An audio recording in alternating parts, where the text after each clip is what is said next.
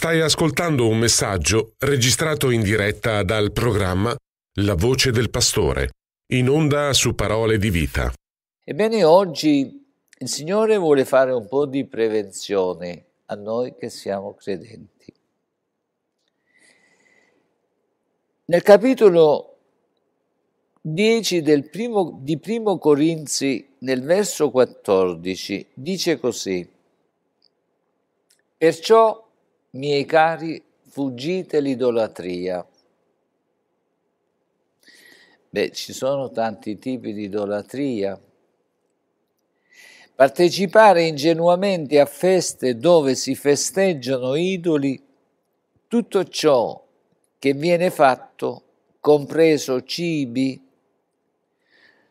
sono contaminati, sono infettati C'è il virus della morte. Noi adesso ci siamo abituati con questo virus e sappiamo quanto, quanti morti, 20 milioni di morti ha fatto. È un virus invisibile. Gli stessi virologi fanno fatica a capire, ad inquadrare. Non, solo i cinesi che l'hanno fatto lo hanno ben classificato ed è un segreto che se lo tengono loro. È una scelta loro. Lo hanno codificato, lo conoscono, perché gli serviva per fare politica. Fermiamoci. Sono cibi contaminati, infettati, c'è il virus che ci avvelena. Magari tu dici, ma io non lo vedo. Ma certo che non si vede, ti ho detto che neppure chi l'ha fatto riesce, perché poi si sono susseguiti. C'è la peste. Quando noi facciamo subentrare l'idolatria nella nostra vita, siamo delle persone appestate siamo infettati dalla peste e il Signore gli dispiace. Sono il contrario della comunione che abbiamo con il Signore. In questo capitolo dice proprio questo. Nel verso 16 a noi cristiani ci porta un esempio per farci comprendere. Dice, il calice della benedizione che noi benediciamo, la messa che tu fai, quando prendiamo il calice della benedizione, prendiamo il pane, non è forse la comunione con il sangue di Cristo? Il pane che noi rompiamo non è forse la comunione col corpo di Cristo? Cioè, quando noi celebriamo la Santa Cena, noi cristiani celebriamo la salvezza, la vita eterna della perfetta unità spirituale del pane e del sangue di Cristo. Quando noi facciamo questo, veniamo disinfettati, disintossicati perché abbiamo comunione con Cristo e il suo potere spiritualmente ci purifica l'anima, lo spirito, il corpo. Molti vengono guariti anche fisicamente. Quando non abbiamo discernimento, nell'epistola ai Corinzi dice che molti muoiono a causa della negligenza che hanno verso questo sacramento tanto prezioso. Sacramento vuol dire un ordine sacro, perché Gesù ha detto fate questo, un ordine, in memoria di me ogni volta che vi radunate, ricordate la mia morte per voi, il prezzo pagato per la vostra salvezza. Questo ci disinfetta, il suo sangue ci purifica. che simboleggia il nutrimento spirituale con Cristo. Questo è per noi credenti. Leggiamo nel verso 17. Bellissimo. Questi simboli ci parlano del corpo di Cristo dato per noi. Siccome vi è un unico pane, noi che siamo molti siamo un corpo unico, perché partecipiamo tutti a quell'unico pane.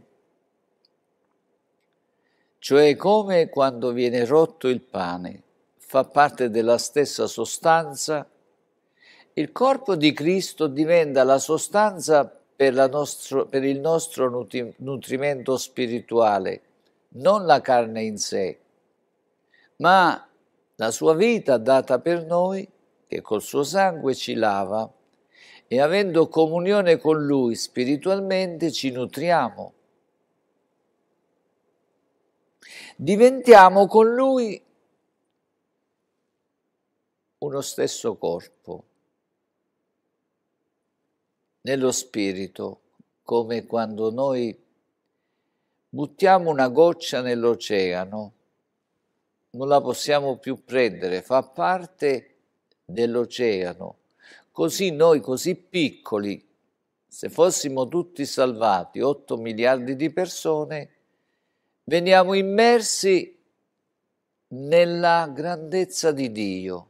Lui copre tutto l'universo, noi veniamo così immedesimati in questa grandezza di questo grande Dio. In 1 Corinzi 12, 4 ci aiuta a comprendere questo. Diventiamo uno stesso spirito. Qui dice, dice proprio così. Vi è un medesimo spirito, cioè quando la presenza di Cristo nella nostra vita porta la salvezza, porta i doni spirituali, dentro di noi abbiamo la comunione con lo Spirito Santo che diventiamo uno stesso spirito con Cristo. Come se usiamo lo stesso internet, siamo collegati dalla stessa forza che porta messaggi, immagini, parole. Hai visto la pubblicità di internet come la fanno? Che internet avvolge tutta la casa, vai nella stanza da letto e c'è, vai nella cucina e c'è. Così lo Spirito di Dio è dappertutto e il nostro spirito si collega con lo Spirito Santo, che è presente dove siamo noi, dove sei tu. Diventiamo un unico spirito con Dio. Bellissimo questo. Una partecipazione spirituale vuol dire con Gesù. Nel verso 5 leggiamolo così comprendiamo. Siamo collegati con lo Spirito, vi è diversità di ministeri, ma non vi è che un medesimo Signore. Poi nel verso 6 dice che siamo uniti con Cristo, con Dio e con lo Spirito Santo. Vi è varietà di operazioni, ma non vi è che un medesimo Dio, il quale opera tutte queste cose in tutti. Cioè, diventiamo la stessa sostanza spirituale. Lo spirito in noi, il nostro spirito è in Cristo, siamo 1. Mentre, partecipa, mentre partecipiamo dove sono gli idoli, è come andare con una prostituta. Sì, sì, la prostituzione è peccato perché noi ci medesimiamo, scendiamo in profondità con questa prostituta, diventiamo una sola carne. Quando noi abbiamo un rapporto con una prostituta, diventiamo una sola carne, perché ci viene, avvol- viene avvolto il nostro corpo, e anche i nostri sentimenti per raggiungere il punto che vogliamo raggiungere, veniamo avvolti, coinvolti, diventiamo una stessa cosa. Leggiamo il verso 16 del capitolo 6.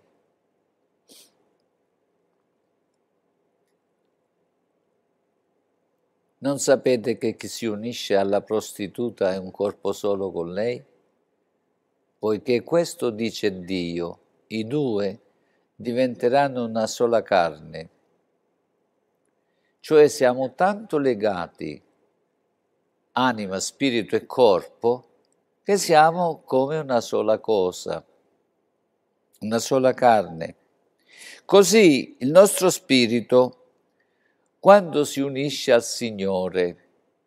Nel verso 17 prende l'immagine naturale e ci fa comprendere l'immagine spirituale, comprendiamo la parte spirituale come noi ci uniamo a Cristo, ma chi si unisce al Signore è uno spirito solo con Lui.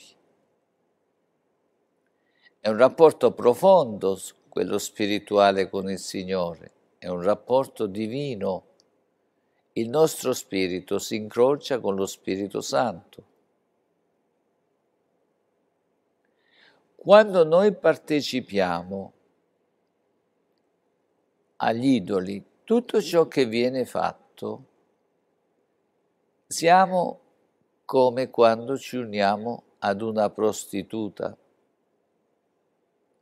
Diventiamo nell'ambito di ciò che viene offerto, di ciò che si mangia, consacrato all'idoli, l'idolo stesso, partecipando ingenuamente, sembra come se stessimo facendo qualcosa di poco, il virus del peccato prende forza nella nostra vita, perché questo vuol dire partecipare alla festa dei demoni e veniamo infettati da questo virus che si chiama peccato. Così il nostro spirito, quando si unisce al Signore, anche qui dice fuggite, vuol dire allontanatevi precipitosamente da questi pericoli. Il Signore, ho detto prima, fa prevenzione per noi, per evitare che questo virus ci porti alla morte, ci porta alla separazione da Dio. Molti di noi preghiamo, Signore guardaci dai virus, dal virus che c'è adesso, perché sappiamo che ci porta alla morte. Però pochi di noi preghiamo che ci guardi dal virus del peccato. Perché abbiamo paura per la morte naturale e non facciamo caso che possiamo morire spiritualmente, veniamo separati da Dio. La morte naturale ci separa dai nostri cari, la morte spirituale ci separa da Dio non abbiamo più comunione con Dio. E molti lo fanno ingenuamente, un inchino di qua, un inchino di là, l'olio di San Biagio, il pane di Sant'Antonio, la festa di questo, la festa di quello, ecco qua, ci siamo dentro. Per il virus naturale ci preoccupiamo e poi moriamo, ci intubano. Per quello spirituale Perciò il Signore oggi ti vuole parlare. Come non vediamo il Covid-19, il virus, così non vediamo fisicamente neppure il peccato. Però fatto sta che il virus ha portato 20 milioni alla morte. E noi diciamo, Signore, liberaci, giusto? Stamattina dobbiamo dire, Signore, liberaci dal peccato, da questi riti che ci infettano. Perciò il verso 14 che abbiamo letto, rileggiamolo un'altra volta.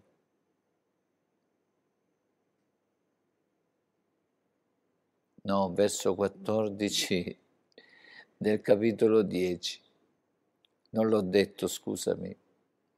Perciò, miei cari, fuggite l'idolatria. Signore, aiutaci. Vuol dire fuggire, allontanarsi. E noi ci stiamo dentro. Quando vai in una chiesa sei avvolto da tutte le parti. Qui prendi la, la messa, secondo te ti stai consacrando al Signore, ti nutri del Signore, dello Spirito Santo, poi ti rivolgi a destra e a sinistra e non fuggi l'idolatria, te li abbracci tutti, li baci, gli accendi la luce, gli accendi il lumino, gli accendi la candela, fai le tue oblazioni è vecchia come l'uomo l'idolatria. Prima avevano quella in Egitto, poi avevano quella di Canaan, poi ce l'hanno sempre e adesso ce l'abbiamo noi. E il Signore dice, fuggite l'idolatria. Il Signore lo dice. Leggiamolo un'altra volta, per, prendi nota, così lo vai a leggere nella Bibbia che hai a casa. Se non hai la Bibbia, ordinala. Prendi quella che vuoi. Questo verso dice la stessa cosa pure nella Bibbia della tua denominazione. Anche qui dice fuggite vuol dire allontanatevi, allontanatevi precipitosamente da questi pericoli. Il Signore oggi fa prevenzione. Il peccato è un virus che ci separa da Dio, come il virus ci separa dalla vita e dai nostri cari. Passiamo nel reparto dei defunti spirituali nel reparto dei morti. Tu dici, ma frate, che dici stamattina? Beh, io dico, noi, Dio ci ha fatto grazia di avere questa televisione perché Lui l'ha voluta e Lui ci aiuta a portarla avanti e grazie siano rese a Dio e grazie siano rese a te che collabori con questa opera, perché serve Perciò noi mettiamo tutti i versi con sotto da farne ricerca e beh, vai a verificare nella tua Bibbia. Nel verso 18 leggiamo, io non voglio discutere, ti voglio bene. Abbiamo cantato ti amo nell'amore del Signore perché ti voglio bene. Leggiamo il verso 18. Fuggite la fornicazione. Vedi? Ogni altro peccato che l'uomo commetta è fuori del corpo, ma il fornicatore pecca contro il proprio corpo.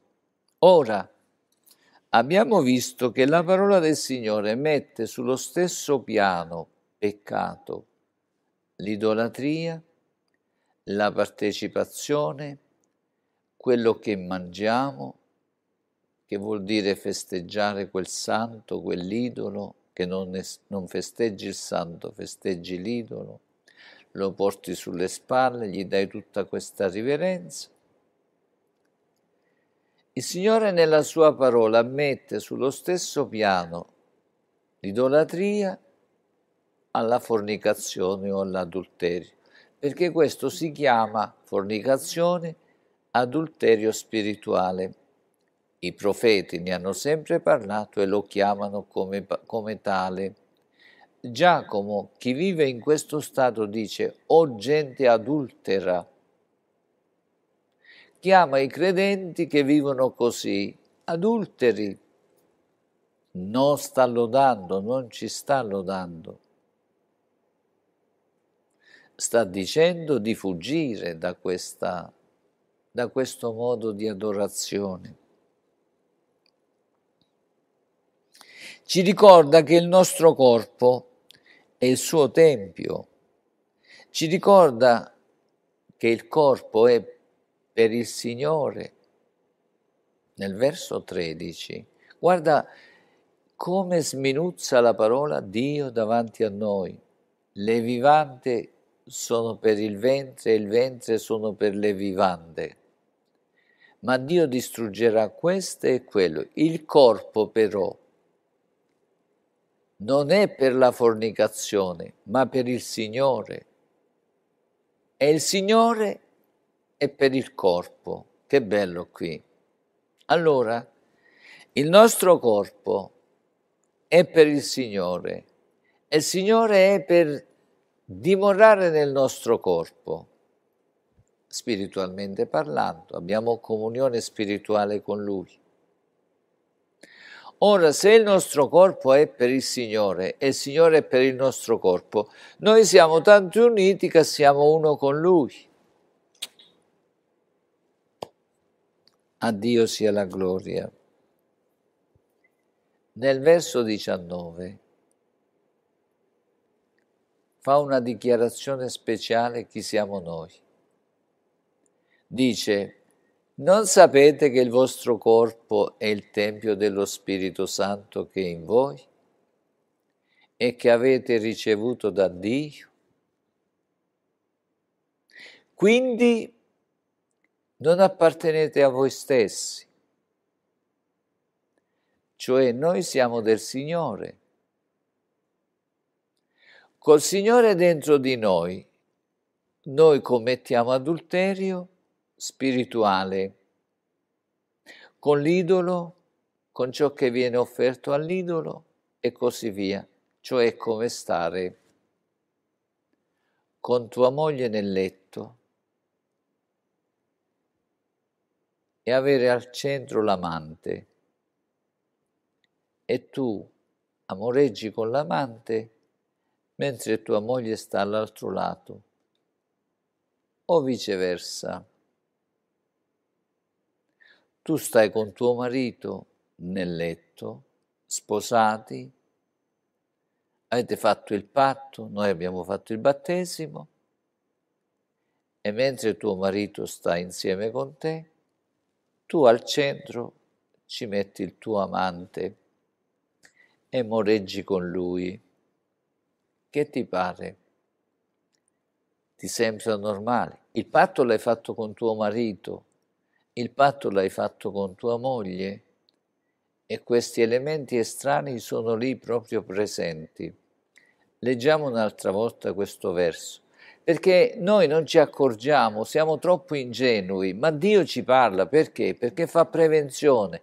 Non sapete che il vostro corpo è il Tempio dello Spirito Santo che è in voi e che avete ricevuto da Dio, quindi non appartenete a voi stessi ma qui non si tratta di evangelici cattolici, qui si tratta che Dio sta dicendo questo, lo dice a me, lo dice a te, perciò noi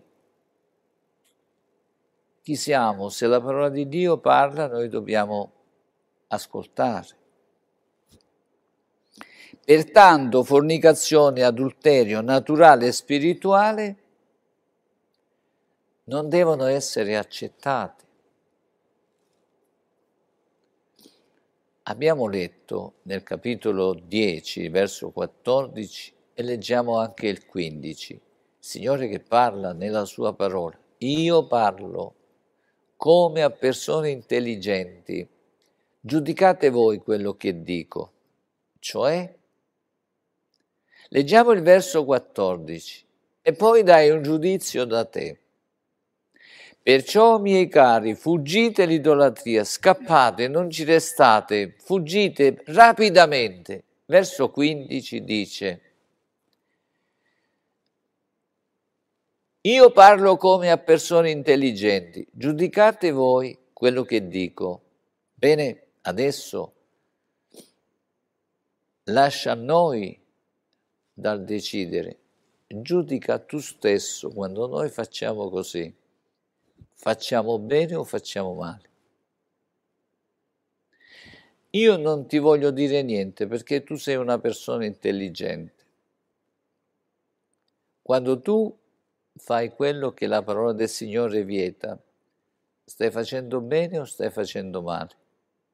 Per me stai facendo male. Sei tu stesso che non prendi le giuste precauzioni per il virus del peccato. Il virus naturale, stiamo attenti, la mascherina,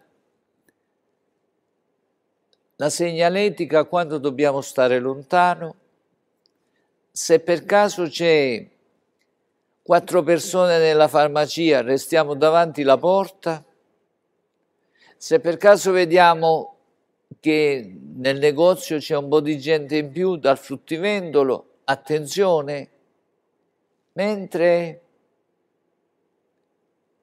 nell'idolatria ci immergiamo dentro.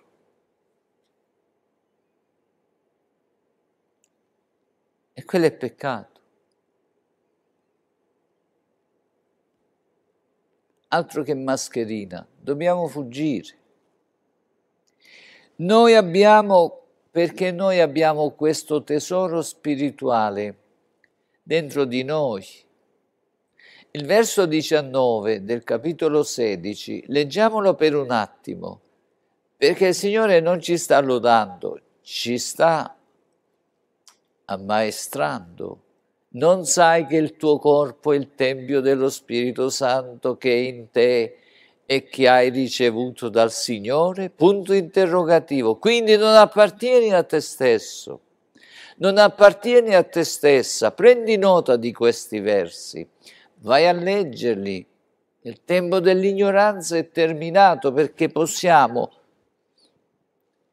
personalmente andare a cercare riflettere e misurarci davanti a Dio. Oh, la parola di Dio dice così. Che faccio? Continuo o mi fermo? Se dice fuggite, non dice fuggite dalla Bibbia, dice fuggite da ciò che stiamo facendo. Perché questa è la parola di Dio. Noi siamo delle persone privilegiate quando conosciamo il Signore, quando cominciamo a far parte della vita di Dio. In secondo Corinzi, capitolo 4, verso 7 dice così, che noi siamo dei recipienti speciali. Noi abbiamo questo tesoro in vasi di terra, noi siamo di terra, eh, veniamo dalla terra affinché questa grande potenza sia attribuita a Dio e non a noi. Oh, alleluia! Pensa per un attimo. Fa riferimento all'impiego nobile che Dio si serve di noi, sapendo che ciò che è in noi è di Dio, perché noi siamo stati comprati. Noi siamo stati riscattati. Noi eravamo schiavi nel mercato del peccato. Il Signore Gesù Cristo è venuto lì e ha detto io ti sono venuto per liberarti, seguimi che ti porto fuori. Io ho pagato il prezzo, vieni fuori, non ti preoccupare, seguimi perché io ho pagato. Leggiamo un'altra volta questo verso. Ma che bello, che bello che sei, Signore. Noi abbiamo questo tesoro in vasi di terra affinché questa grande potenza sia attribuita a Dio e non a noi, sapendo che ciò che è in noi è di Dio, perché noi siamo stati comprati nel capitolo 6 della stessa lettera, al verso 20, ci aiuta a comprendere cosa ha fatto il Signore per noi. Che sei grande, Signore, ti vogliamo benedire oggi, poiché siete stati comprati a caro prezzo. Cosa dobbiamo fare allora? Ci dice che dobbiamo fare. Glorificate dunque Dio nel vostro corpo. Che cosa vuol dire? Vuol dire che noi dobbiamo attenerci a lodare Dio, a glorificare Dio, perché eravamo morti nei falli e nei peccati, ci ha risuscitati, ci ha chiamati a nuova vita, adesso siamo dei contenitori dove deve venire fuori la lode verso Dio, ma non solo glorificare Dio, Signore ti lodo, ti benedico, ma anche piacere a Lui, servire Lui, una gratitudine per dire Signore, anche se vivessi 5.000 anni e ti servirei tutti i giorni, è troppo poco per quello che tu hai fatto per me, perché io posso mettere a, a disposizione 5.000 anni, ma tu mi hai salvato per l'eternità. Sorella, l'eternità, l'eternità. Noi perdiamo il concetto quando pensiamo eternità. Eternità, eternità, eternità. Signore, noi abbiamo la vita eterna, la vita senza fine con il Signore. Non ce la possiamo giocare per un poco di qualche cosa che non serve a niente. Siamo stati riscattati. Il pagamento per la nostra liberazione è costata molto cara a Dio. Nella Bibbia ci dice tutto il costo di ognuno di noi, il valore, in primo Pietro capitolo 1 verso 18. Tu pensi che hai poco valore davanti a Dio? No, sapendo che non siamo stati comprati con cose corruttibili, argento, oro.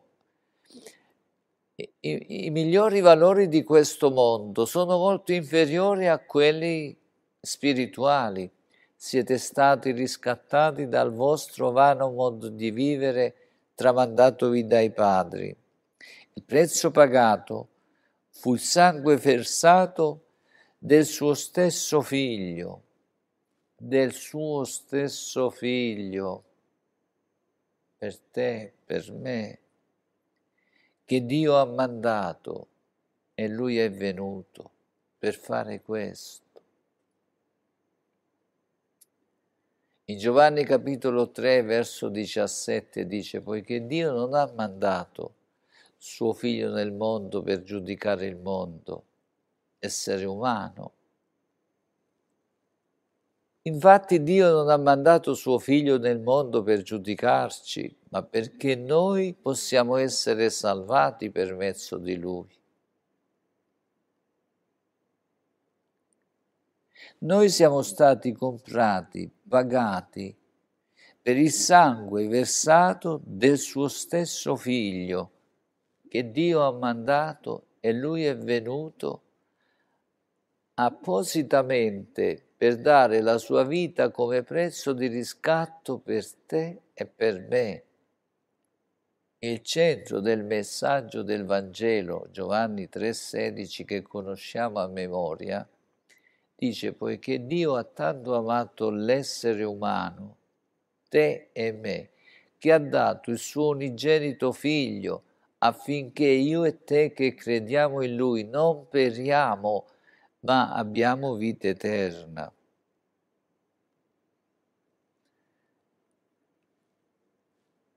Secondo il programma divino, Dio questo progetto l'ha fatto quando l'uomo è caduto lui già aveva il progetto di restaurazione per me e per te. In 1 Pietro capitolo 1 verso 18, 19 e 20, rileggiamoli tutti e tre, perché questo è importante che noi lo sappiamo, sapendo che non con cose corruttibili, con argento, con oro siamo stati riscattati dal, dal nostro vano, vano modo di vivere, tramandatoci dai padri, perché la tradizione non ci salva, ma con il prezioso sangue di Cristo come quello di un agnello senza difetto né macchia, ben preordinato, già disegnato prima della fondazione del mondo.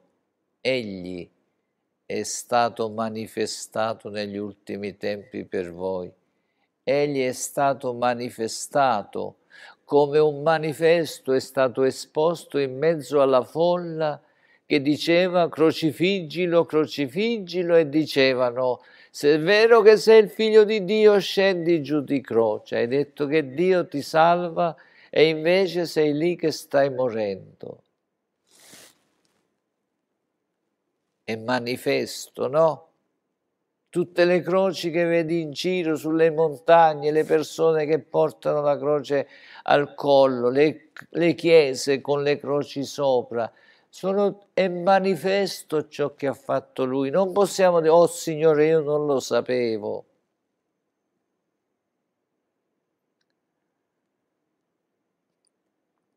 La croce è stato il punto di condanna per Cristo, ma lui non meritava la condanna, egli è diventato peccato per noi. Ha accumulato dentro di sé tutto il peccato della mia vita terrestre anche quello originale lo ha inchiodato sulla croce per darmi la nuova vita dello Spirito. Come posso commettere questa negligenza che sembra ingenua di fornicare, far partecipare a Satana col suo spirito maligno nella, nostra, nella mia vita quando il Signore ci, ci ha purificati e ci ha riempiti e ci riempie del suo Santo Spirito. Forse sei un carismatico, una carismatica, ma tu stai facendo qualcosa che non piace al Signore. Aiutaci, Signore.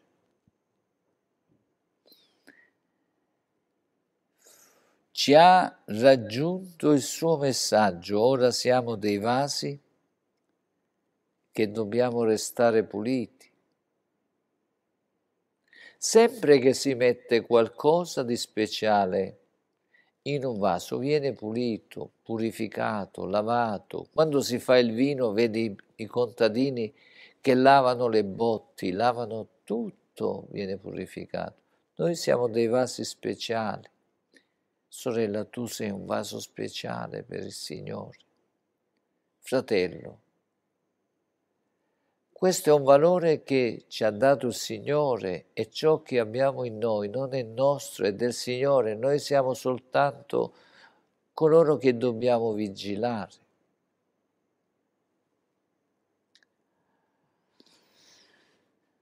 Ci ha fatto giungere il suo messaggio che dobbiamo restare puliti. Pensa quanta gente non ha sentito proprio il messaggio di Cristo, ma a te un giorno ti ha fatto comprendere il valore versato per te, che tu sei stata riacquistata, sei stata, sei stata acquistata. Molti parlano di carismatici e stanno in quella sporcizia, ma io non posso dire diversamente, non ti voglio offendere, ma è la parola di Dio che dice che quell'ambiente dobbiamo fuggire ma fatti una chiesa pulita, libera, senza niente, mettici la parola di Dio, che quando la leggi diventa nutrimento, non mettere proprio quello che dispiace al Signore, è come se qualcuno ti avesse regalato una Mercedes ultima uscita e tu ci, ci metti le galline dentro un po' di, di, di saggezza Dio ce l'ha dato.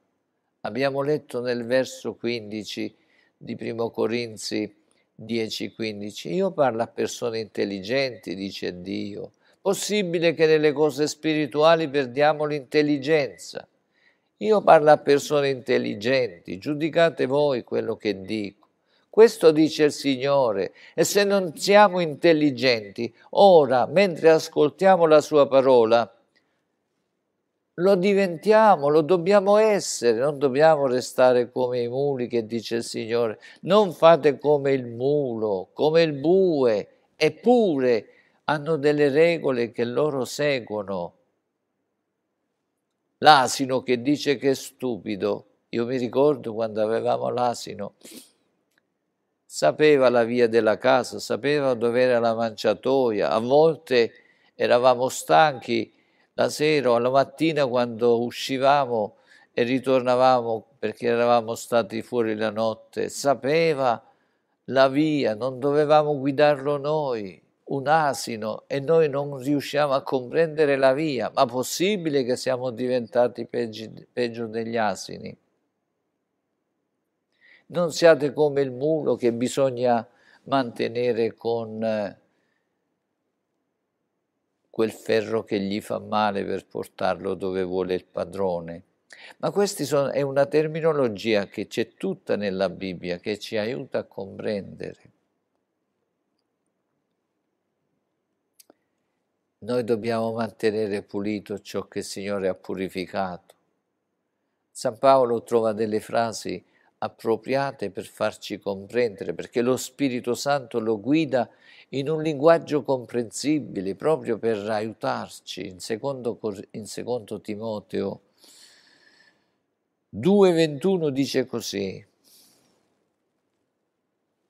guardiamo insieme, se dunque uno si conserva puro da quelle cose, saremo dei vasi nobili, santificati, utili al servizio del padrone. Ma chi è il padrone? Il padrone è Dio, il Signore, preparati per ogni opera buona. Che bello.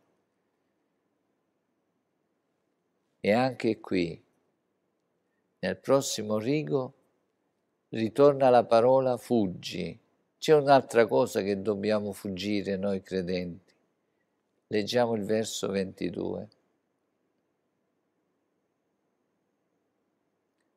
Fuggi le passioni giovanili e ricerca la giustizia, ricerca la fede, ricerca l'amore e la pace con quelli che invocano il Signore con un cuore puro.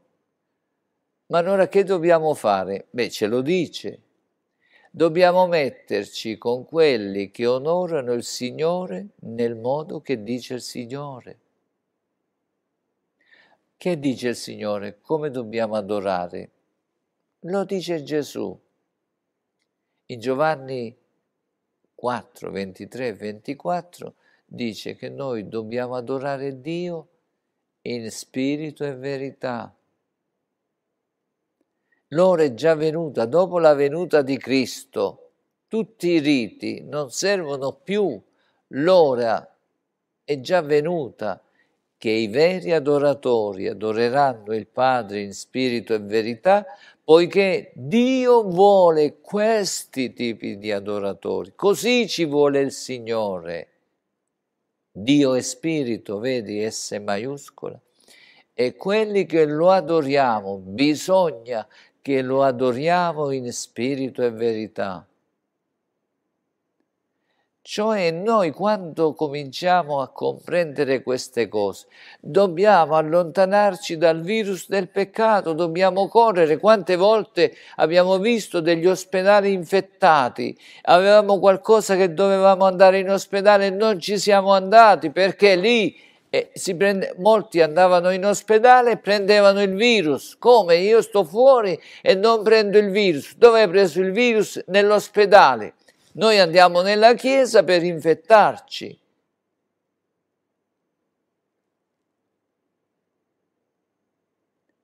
Nell'ospedale quando erano infettati non entravamo. Invece nella chiesa che è infettata da queste cose ci entriamo ancora e continuiamo. Ma come dobbiamo fare? Rileggiamo questo verso, che dobbiamo fare? Per mantenerci puri ci dobbiamo mettere con quelli che onorano il Signore come il Signore dice. Leggiamolo un'altra volta. Ma l'ora viene, anzi è già venuta, che i veri adoratori adoreranno il Padre in spirito e verità, poiché il Padre ricerca tali adoratori in secondo Timoteo, capitolo 2, verso 22, dice mettiti con quelli che di puro cuore cercano il Signore. Ecco qua, questa è la Chiesa del Signore. Leggiamolo. Aiutaci, Signore. Ricerca la giustizia, la fede, l'amore, la pace con quelli che invocano il Signore con un cuore puro. Questa è la Chiesa del Signore, non il locale, le persone. Non appena il Signore mi ha salvato, uno mi disse una cosa, tu stai seguendo questa Chiesa e vuoi portare le persone nella Chiesa dove sei tu per fare proselitismo. Ho detto, guarda, che io ho iniziato a seguire questa Chiesa, perché leggendo la parola del Signore, questo mi dà l'impressione che sono più vicini a ciò che il Signore dice. Se domani mattina ho dei riscontri che questi non camminano come il Signore dice e c'è un altro gruppo che è più serio verso il Signore, questo come si chiama chiama, non mi interessa, lo cambio perché io ho dato la mia vita al Signore, non a un gruppo di appartenenza. Noi quando ci consacriamo non ci consacriamo a Dio e non ci battezziamo nel nome di un gruppo come fanno i testimoni di Geova che battezzano le persone a nome della torre di guardia. Ma chi è la torre di guardia? Quella è la torre di Babele. È la, è la torre della confusione. Noi quando diamo il nostro cuore al Signore, ci battezziamo nel nome del Padre, del Figlio e dello Spirito Santo, vogliamo che partecipi tutta la divinità nella nostra vita. Ed è Lui che ci dà i doni nello Spirito Santo, come abbiamo letto nel capitolo 12, 12 di, eh, eh, Primo Corinzi 12, 4, partecipiamo insieme. Verso, verso 5 per cortesia. Noi siamo uniti per diversità di ministeri, ma non vi è che un medesimo Signore. E il verso 6 dice, vi è varietà di operazioni, ma non vi è che un medesimo Dio, il quale opera tutte le cose e in tutti. Noi possiamo avere i doni dello Spirito Santo quando diamo la precedenza assoluta a Dio, a Gesù Cristo e allo Spirito Santo che partecipano alla nostra consacrazione perché già da quando ci battezziamo, ci battezziamo nel nome del Padre, del Figlio e dello Spirito Santo che il suo dominio deve restare sopra di noi e dentro di noi. Noi siamo del Signore. Signore, aiutaci, grazie. Fuggi. Leggiamo questo che dice di, di, da fuggire. Il verso 22, leggiamo secondo Timoteo 1, 22. 2, 22, scusami. Dice, fuggi le passioni giovanili e ricerca la giustizia, la fede, l'amore, la pace con quelli che invocano il Signore con cuore puro.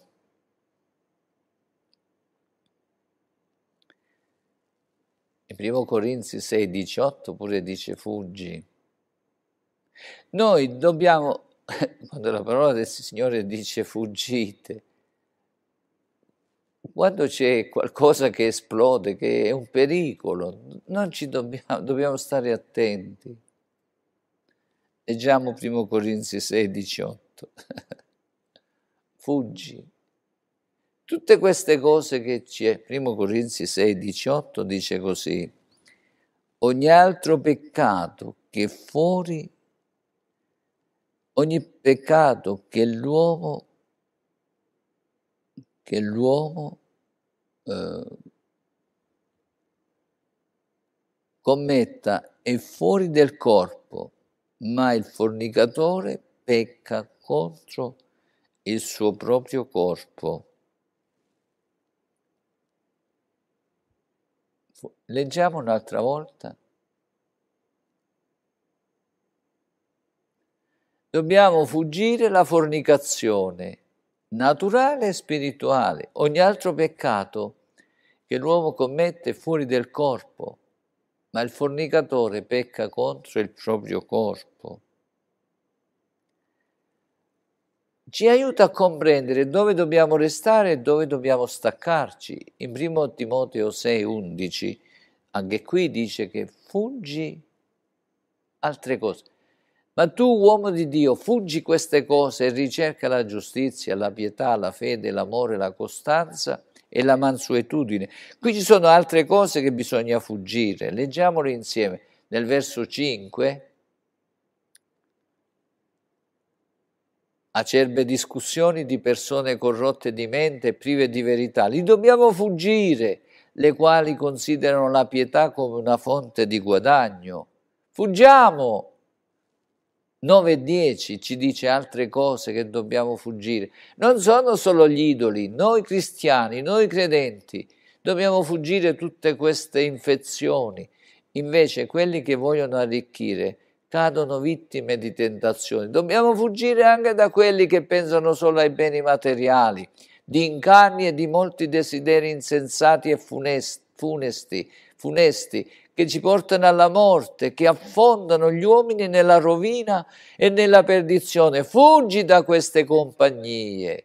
Infatti l'amore del denaro è radice di ogni specie di mali. Dagli avari dobbiamo starne lontano perché prendiamo la stessa malattia e alcuni, alcuni che vi si sono dati, si sono sviati dalla fede e si sono procurati molti dolori quando cominci a camminare con quelli che sono avari, diventi avaro pure tu perché vedi che quello tira e cominci a tirare pure tu. Quello, l'avaro, è insoddisfatto.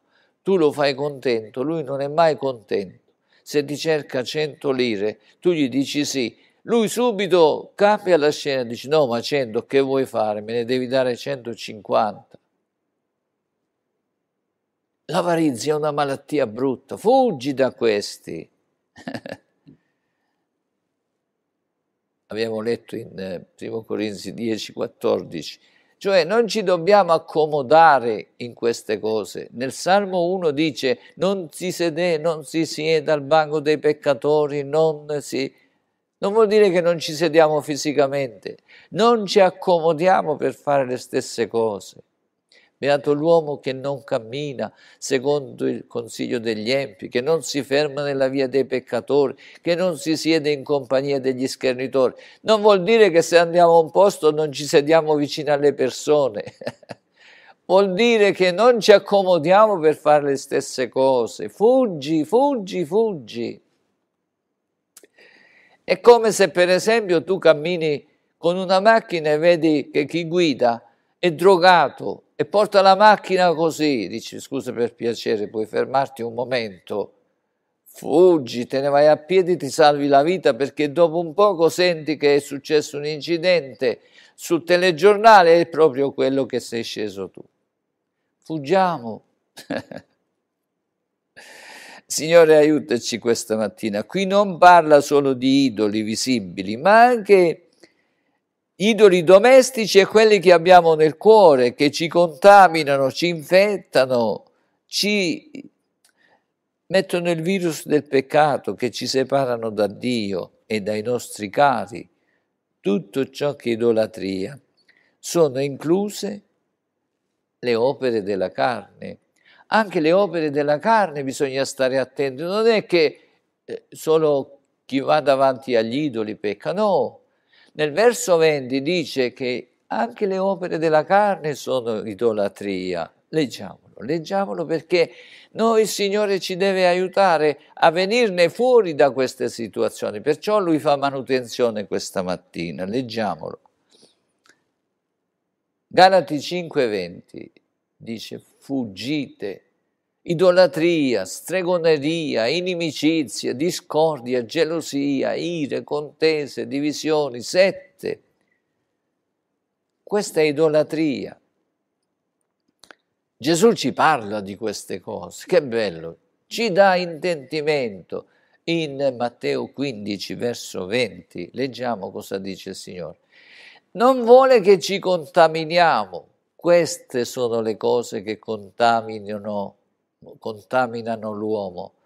Non è il mangiare con le mani sporche, non è che eh, non ti lavi le mani che succede, ma il verso 18 il verso 19 ci aiutano a comprendere che cosa ci contamina ma ciò che esce dalla bocca, che viene dal cuore ed è quello che contamina l'uomo.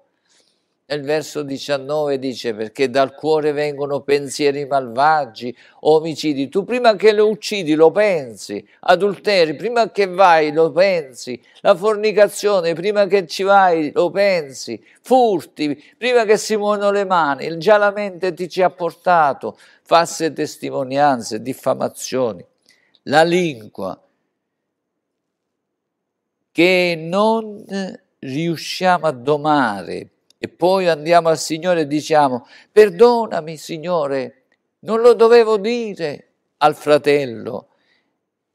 Chiediamo perdono al Signore e non chiediamo perdono al fratello o alla sorella che abbiamo offeso, perché è più comodo.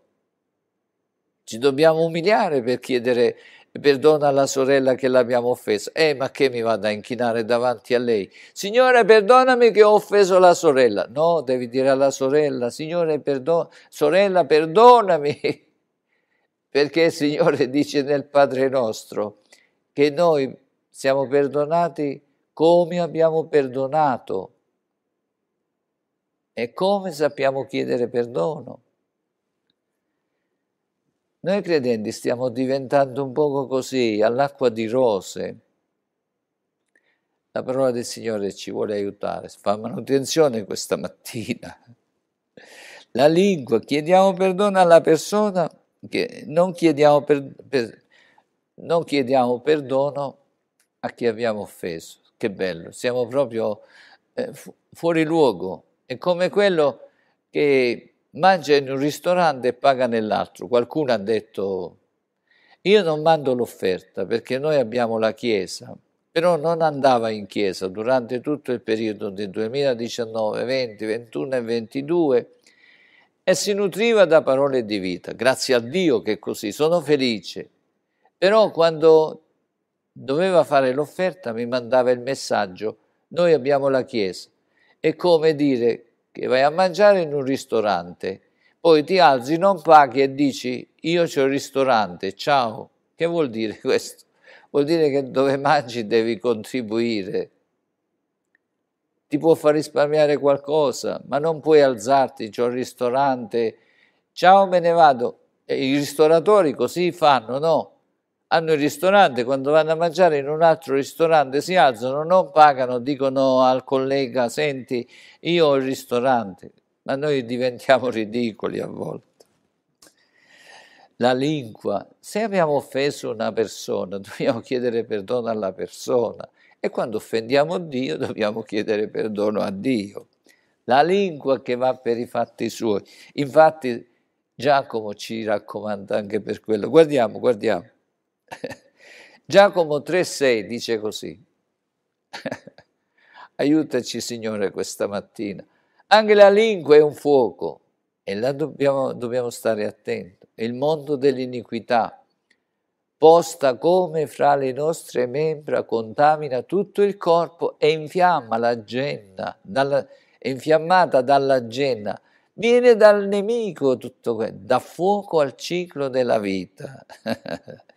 Sembra un piccolo aggeggio, eh? Non la vedi quando parlo, no? È piccola, così piccola che non la vedi là. Ma certe volte leggiamo il verso 5 che combina. Dobbiamo vigilare. Così è anche la lingua, un piccolo membro, eppure si vanta di co grandi cose. Osservate, un piccolo fuoco può incendiare una grande foresta. Le opere della carne abbiamo detto, anche queste dice di fuggire.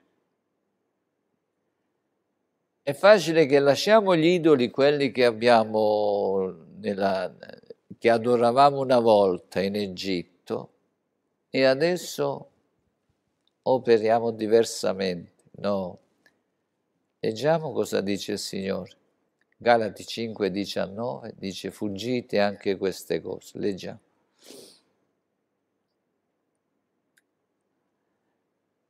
Ora le opere della carne sono manifeste sono fornicazione fino al verso 20, leggiamo. Impurità, dissolutezza, idolatria, stregoneria, inimicizia, discordia, gelosia, ire, contese, divisioni, sette. Tutte queste cose ci sbarrano la strada per entrare. Ognuna, ogni cosa di queste che stiamo leggendo è come una pietra d'intoppo, una pietra d'inciampo sulla nostra strada è come una pietra, un sasso d'intoppo. Noi dobbiamo vigilare. Dal Novecento in poi, sulle strade d'Italia, c'era una categoria che si chiamavano i cantonieri dell'ANAS, che gli venivano dati dei tratti di strada che dovevano curare, dovevano togliere le pietre, dovevano ma erano così rigidi, così rigidi per controllare la strada. Toglievano i sassi, toglievano le pietre. Ma io mi ricordo che quando un asino sporcava lungo la strada, si arrabbiavano quasi che i contadini dovevano comprare i pannolini agli asini. Si arrabbiavano. Avevano dei cappelli che sembravano sembravano quei soldati russi, avevano dei cappelli fatti come con una visiera, sembrava una padella, come quei, quei generali russi sotto il comunismo. Questi cantonieri con questi berretti in testa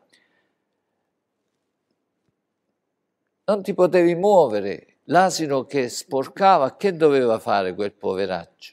Ma erano così tremendi noi dobbiamo stare attenti, noi dobbiamo togliere le pietre dalla nostra strada. Tutto quello che ci fa intoppare, quello che ci fa, dobbiamo toglierli perché se no certe volte diventiamo deboli e cadiamo. C'aveva uno zio che aveva un'ottantina d'anni come me, mi diceva Cataldù, mi chiamava col diminutivo, diceva guarda certe volte la debolezza è brutta. Certe volte inciampo con i piedi, penso che è un sasso e lo voglio togliere così non lo trovo la prossima volta. Faccio per vedere non c'è il sasso. Sai dove sono andato a inciampare? Vicino al tacco della scarpa e quasi cadevo perché la debolezza è brutta. Ci sono molti credenti che inciampano ogni giorno e non si fortificano nel Signore. Noi la strada la dobbiamo pulire. Questi tagliavano anche le spine che ripiegavano sulle strade.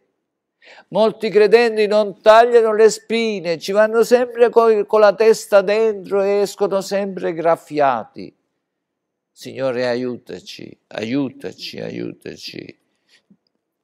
Queste cose che leggiamo li dobbiamo sgomberare dal nostro cammino.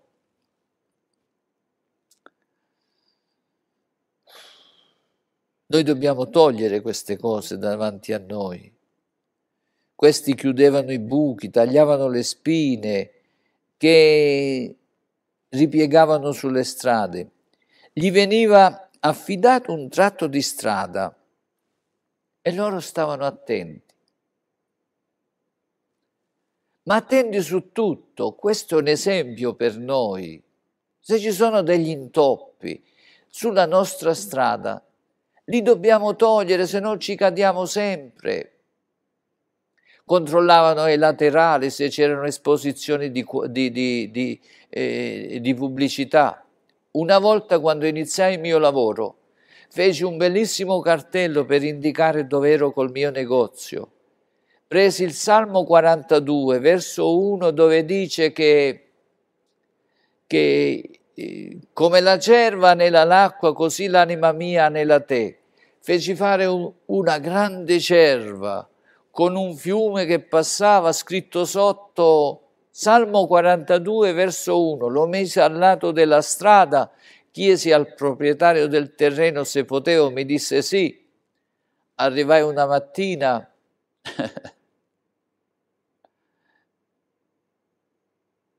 Come la cerva desidera i corsi di acqua, così l'anima mia nella te, oh Dio.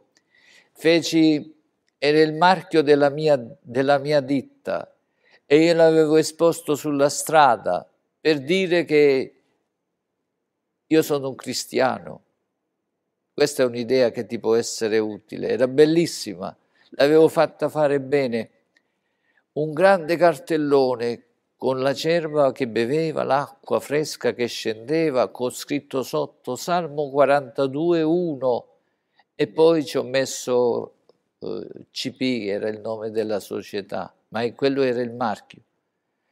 Eh, con tanta gioia l'avevo messo per testimoniare del Signore, sono arrivato una mattina l'avevano tagliato. ho detto, ma che hanno fatto? Questi erano così terribili che sorvegliavano sulla strada. Così dobbiamo fare noi. Adesso abbiamo un grande cartellone vicino all'autostrada che c'è scritto canale 245. Un giorno sono venuti e mi hanno detto li dovete togliere. Ho detto cosa devo togliere? No, perché si vede dall'autostrada. Ho detto ma quello si vede pure parole di vita dall'autostrada. Che devo togliere? Io sto qui mi devi dire a quanti metri la devo mettere distante. No, non c'entra metri, lo devi togliere e basta. Ho detto, ma tu che dici? Loro vigilano, sorella, questo è un segno che noi dobbiamo vigilare sulla nostra strada. Quando vediamo queste cose che leggiamo, che creano infezione spirituale, dobbiamo vigilare. Quando gli veniva affidato un tratto di strada, la strada che noi abbiamo intrapreso è la strada della santificazione. Dobbiamo sgomberare tutte quelle cose che non ci permettono di essere sulla, sul, sul sentiero giusto, perché noi abbiamo intrapreso il cammino per il cielo con il capo supremo. Noi non abbiamo il capo cantoniere che avevano anche la casa cantoniera, erano delle case rosse che facevano lungo i percorsi delle strade. Noi abbiamo il grande capo, alleluia, gloria al Signore. In Efesini 1:22 dice che lui è il capo generale, Kukamasinda. Ogni cosa gli è stata sottoposta ed egli lo ha, lo ha dato per capo supremo della Chiesa. Noi siamo i credenti, una metafora del popolo redento di Dio. Vigiliamo sul nostro cammino. Come vediamo qualcosa che il Signore dice che non va bene, escludiamola dalla nostra vita. Nel verso 23 dice che la Chiesa, noi, io, te, non il locale di culto, io, che è il corpo di Lui. Noi siamo il corpo di Cristo, il compimento di colui che porta a compimento ogni cosa in ognuno di noi. Alleluia. Gloria al Signore, gloria al Signore. Manteniamo pulita la strada. Come vediamo qualcosa che ci permette di inciampare cosa? Togliamola di mezzo, cattive compagnie, eh, idolatria, eh, tutto quello che man mano leggiamo nella parola del Signore, dobbiamo scomperarlo, se no ce lo troviamo davanti ai piedi e cadiamo. Il Signore anche stamattina ha fatto prevenzione, ora spetta a noi essere dei bravi cantonieri, per mantenere in ordine la strada dove camminiamo, tutte quelle cose che troviamo. C'è una prostituta, la togliamo, desiderio della prostituzione spirituale e materiale, questo mi fa cadere, questo mi fa cadere, questo mi fa cadere e manteniamo il cammino con il capo cantoniere, capo supremo, che per lo Spirito Santo ci dice cosa deve restare e cosa non deve restare e lo seguiamo come piace a Lui. Ringraziamo il Signore che pure oggi ci ha parlato.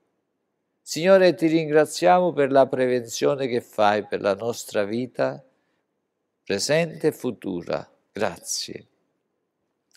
E a te, Padre Dio Onnipotente, Gesù nostro Signore e Salvatore, nostro Dio, nostro Salvatore, a te Spirito Santo, nostra guida e consolatore, diamo lode, onore e gloria ora e sempre, fino nell'eternità. Te diamo tutto l'onore. Serviti di noi, Signore. Amen. Amen. Amen. Hai ascoltato un messaggio registrato in diretta Continua a seguirci sui nostri canali social o sul sito www.paroledivita.org.